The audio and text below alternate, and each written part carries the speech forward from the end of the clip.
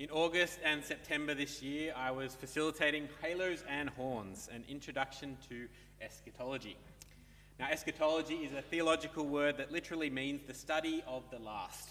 It's a catch all term for everything related to death, heaven, hell, judgment, salvation, you know, all the easy questions of faith.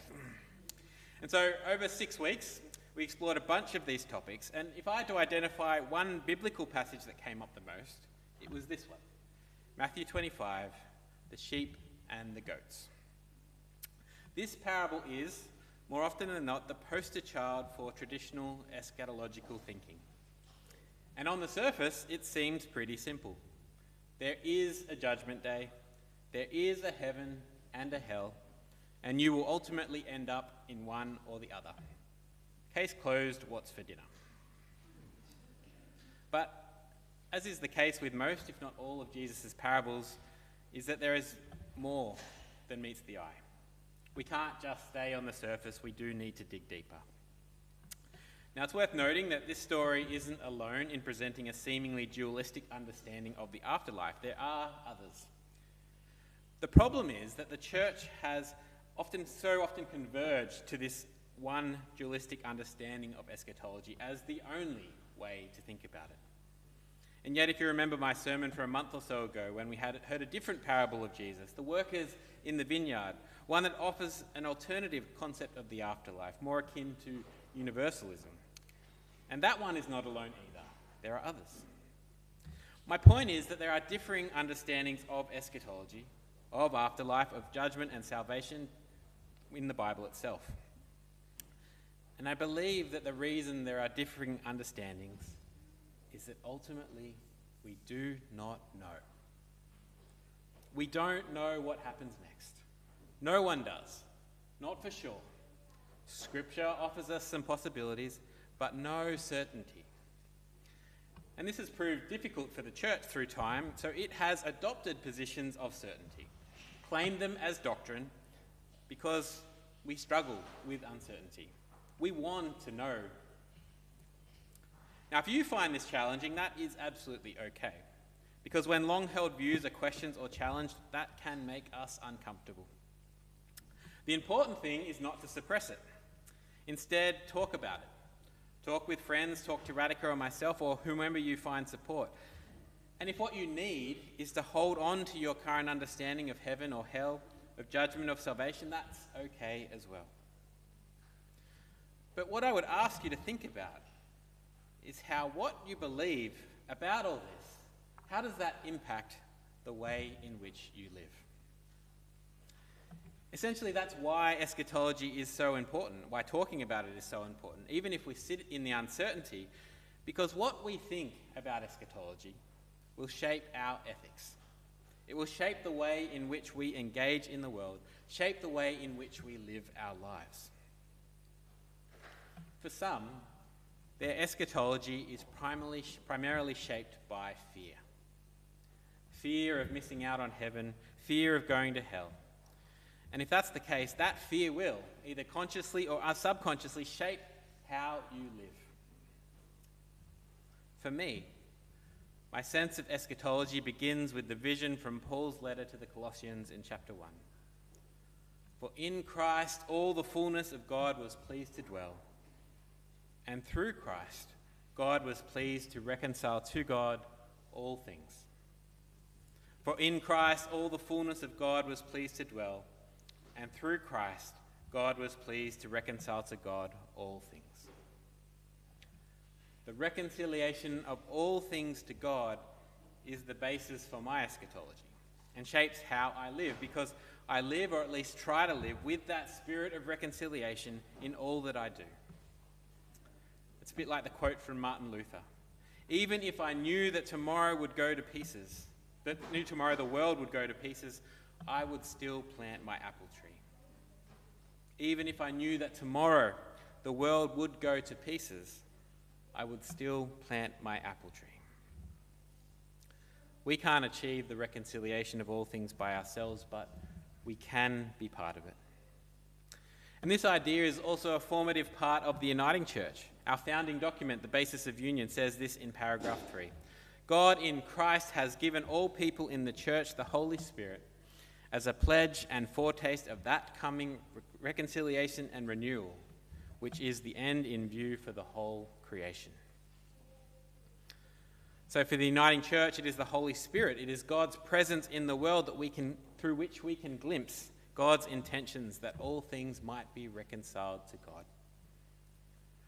And that is entirely the work of God. The reality is that one way or another, what happens next is out of our control. What we can control is how we live in the here and now, how we might participate in the work of renewal and reconciliation. And I think that's a good segue for us to return to our Bible reading. Because what if the parable is less about what is, happens next, but instead about what we do now? What is this is a, this story of Jesus is about pointing towards what people who live for reconciliation and renewal might look like. Let's break the story down a little bit. First, the story talks about all the nations. This isn't about a particular subset of humanity, a particular religion. This isn't just for Christians. This is imagined for everyone. And next, the test, as it were, comes afterwards. And what is clear that the people don't actually know about it or at least the conditions involved, until after the fact.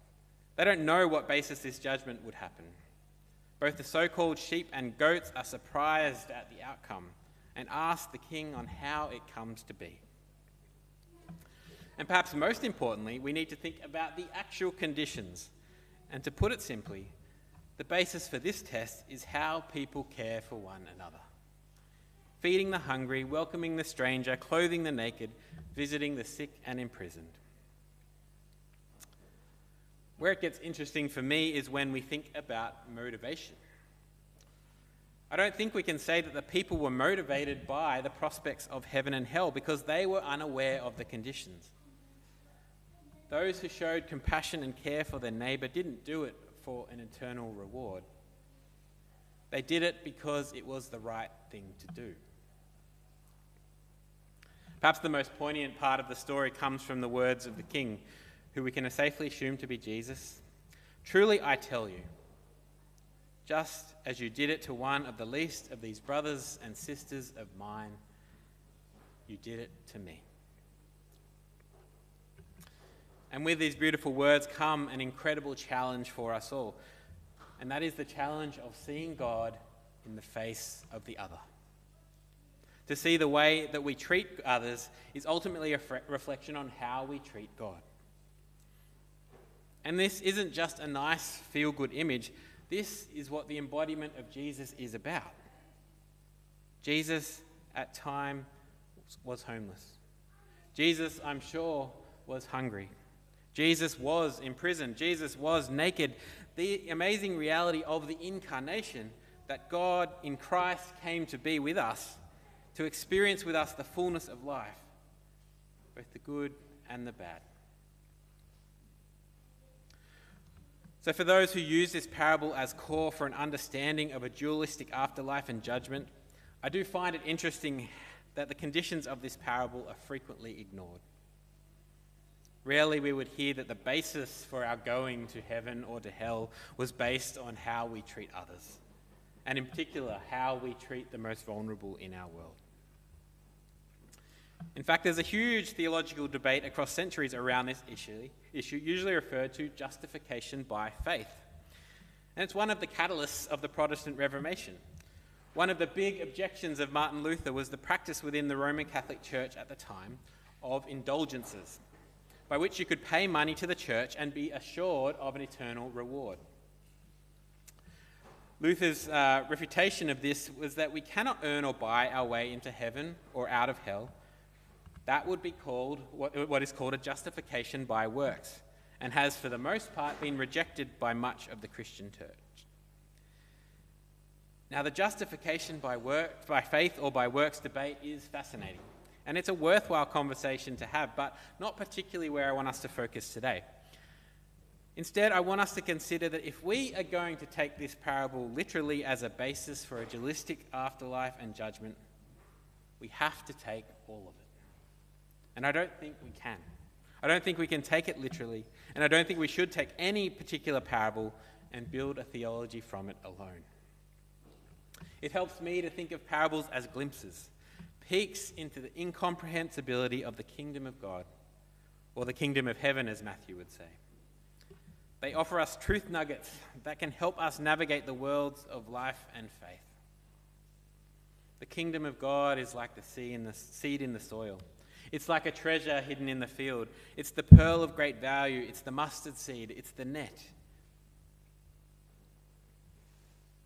And the kingdom of God is not only something for the future, instead, we will talk about it in terms of the paradox that it is both here and now and still to come.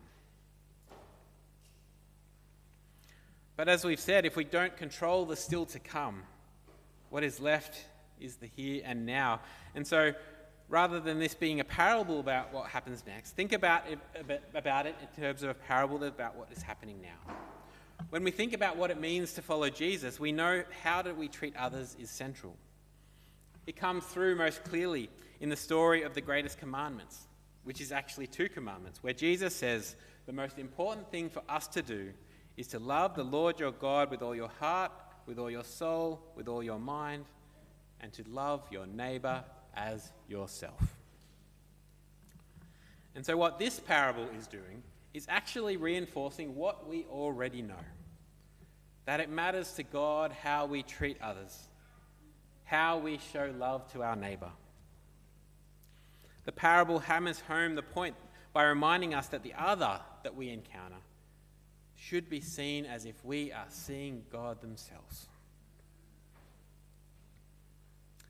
Friends, this Sunday marks the end of the liturgical year. For the church, the year begins with the season of Advent, which we will enter into next week. And in following the liturgical calendar, what we discover are certain rhythms to the year. In Advent, for example, we await the coming of Jesus at Christmas. In Lent, we immerse ourselves in the grief and uncertainty of the impending suffering and death of Jesus at Good Friday and the amazing revelation of resurrection at Easter. But even in the midst of this time, which is known as ordinary time for some reason, we can see a rhythm, and it's one of contemplating what is next, and ultimately, what is the purpose of life.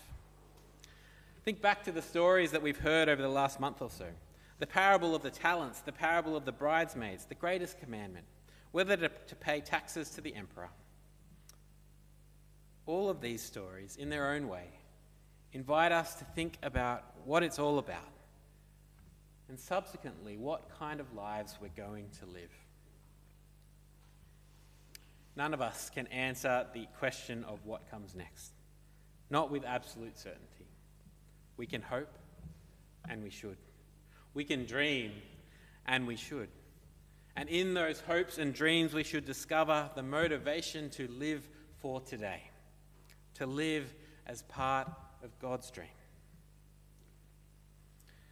There's a quote that's making its rounds on social media that comes in part from the Hebrew Scriptures and part from the Jewish Talmud.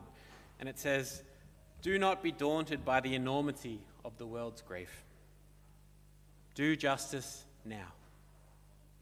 Love mercy now. Walk humbly now. You are not obligated to complete the work, but neither are you free to abandon it. This reminds us, just like our parable, that whilst there is so much that we cannot control in the world, there are some things that we can. We can control how we act, how we respond, how we live as disciples of Jesus. Still shocks me a little bit when I realize that Radhika and I are coming to the end of five years here at Luck. How did that happen? When did that happen? It has been a wild ride, and we are both so glad that we are here to live and work amongst you all. And I think one of the reasons that we are so happy here is the way in which this community chooses to live because I don't think this community chooses to live out of fear of what might be. I think this community chooses to live out of the hope of what could be. And I've seen it time and time again as people engage in intentional learning about faith and atonement and eschatology, as people march in Mardi Gras and attend climate rallies, as people work so hard for the Yes campaign in the recent referendum. This is all kingdom work. That in spite of the challenges of our world, we do not lose hope, but continue to work for God's reconciliation and renewal of all things. Friends, you are a blessing. So I encourage you to keep going. Be a blessing to the world. In the name of the risen, crucified one, Amen.